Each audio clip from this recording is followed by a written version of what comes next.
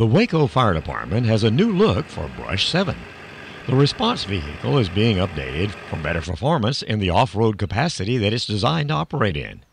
These upgrades will bring it up to state and federal standards as a Type 6 wildland engine.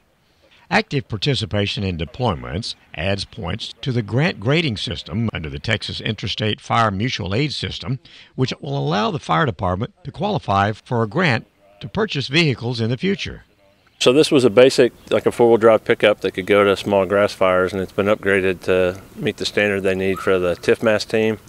Um, so they put bigger tires on it, better suspension, uh, more area to carry their equipment. It's the idea they would go somewhere and deploy for maybe up to two weeks, so it's able to support them for that long.